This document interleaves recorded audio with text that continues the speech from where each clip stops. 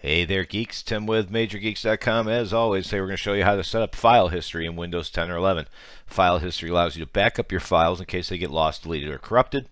However, you do need either a second hard drive, whether it's internal or external. It could be a thumb drive, flash drive, for example, or a physical drive plugged in your computer. So what you want to do before we get started is, if you have an external drive, plug it in first. Otherwise, you have to repeat the steps and open it up again because Windows won't see it we're going to do is we're going to open the control panel and we're going to do that easiest by Windows key plus S. Start typing control and it should show up as control panel. And if you don't see file history, you're probably in the category view. So you'll click right here and do large or small icons, whichever you want. And there's file history. Odds are it is off, so you want to click turn on. And it will start backing up your files immediately.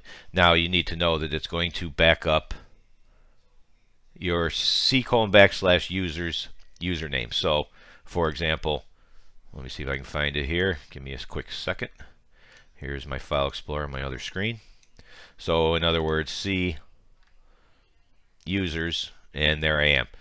So it's going to back up a good chunk of what is in there. And that includes your documents, videos, pictures, music, etc. So now that we're here, to use this, there's just a couple things you need to do. You can kind of see it's all set up here on your left. It's not too bad. You might have to wait for it to save the copies of your files to see how it says it's doing it now. So be aware that you won't see everything right away. Give it some time. And let's go ahead and configure what you want to do. So we've selected the drive. And the next thing you can do is, let's see here. Make sure you've got the right drive, which we do. And from there, you can add a network location if you don't see it, or show all. So that's a nice little option too if you have stuff across a network. Right? Neat. All right. So next thing you can do is exclusion. So this is kind of interesting. If you don't want to save copies, you can add it here. So go ahead and click add. It'll show you a, a handful of folders. Let's say you're not going to bother backing up your music. Go ahead and click on that and click select folder and click save changes and you're all set. Might save it some time when it's backing up. Like anything else, the advanced options are also very cool. And the reason for that is you can decide how you're going to back stuff up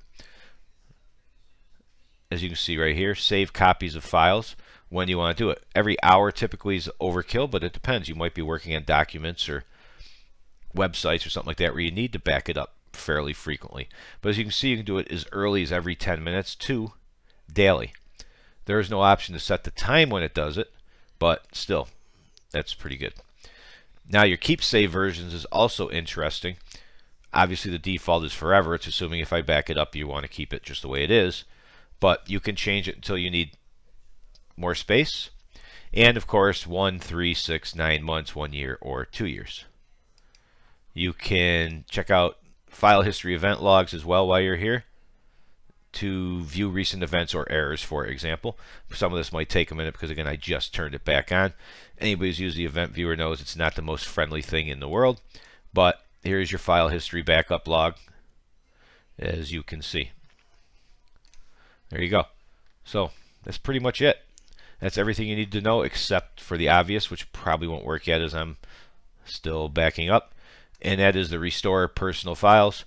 We can't access it yet, but once it's done, you'll be able to click them here and click restore again. This could take a couple hours for it to actually get done and set up. But again, nowadays we've got a lot of options. You can restore lost or damaged files. You can reset or reinstall using the cloud, which I've done personally a couple of times that I happen to like. You can also do system restore. So most of us keep a backup. You sure should.